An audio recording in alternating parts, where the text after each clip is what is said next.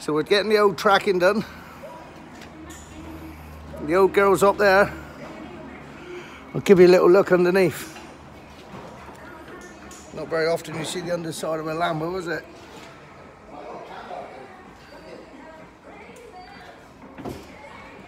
Excuse my bald head. I think I've got a slight leak on the old um, crank seal.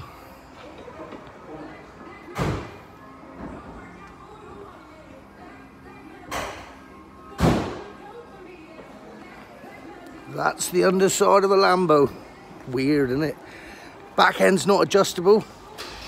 Front end's adjustable, but the back end is just solid. So, uh, can't adjust the back ones, but they are spot on, but they should be towing out a little bit, but hey, that's Lamborghini, I suppose. She's an old girl and she's 2007. Anyway, catch you soon. All the best.